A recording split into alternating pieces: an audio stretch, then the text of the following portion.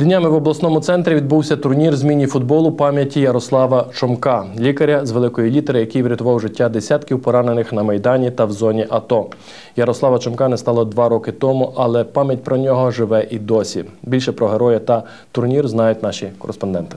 Турнір пам'яті Ярослава Чомка відбувається вперше.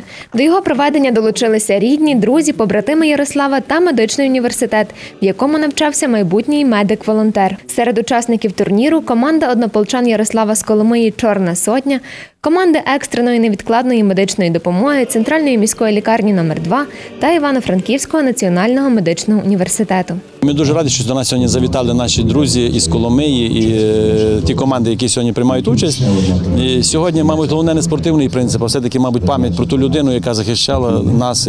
Він медик, він наш побратим. І нам буде приємно сьогодні його згадати, і щоб він на небесах бачив, що ми про нього пам'ятаємо. Побратими Ярослава згадують його як добру, чуйну, віддану своїй роботі людину. Всього себе і весь свій час він присвятив лікарській справі. Він мені дуже сподобався як людина. Він був скромний, він лишнього ніколи не говорив. Він е, дуже хороший терапевт. Е, ну, людина, дуже хороша людина. І, на жаль, таких людей забирає Бог. Це був чудовий хлопець, який як, як ніхто заслужував життя. І, на жаль, він загинув у зоні АТО. Він продовжив свою справу майданівську. І я просто хотіла сказати від імені побратимів, що ми будемо продовжувати його справу, тому що багато медиків майдану стали волонтерами АТО. І ми.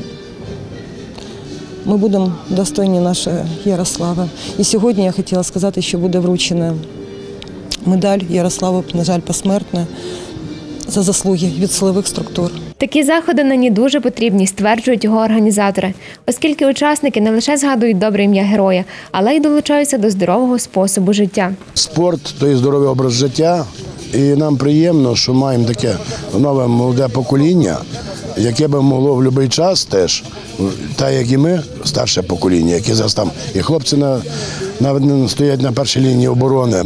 І до того стояли, будемо так казати, вже як ми вважаємося ветерани резерву. Перемогу в турнірі та головний кубок здобула команда медичного університету. Друге місце посіла Чорна сотня. На третій позиції футболісти екстреної медичної допомоги. Організатори сподіваються, що цей турнір стане хорошою традицією та проводитиметься щороку.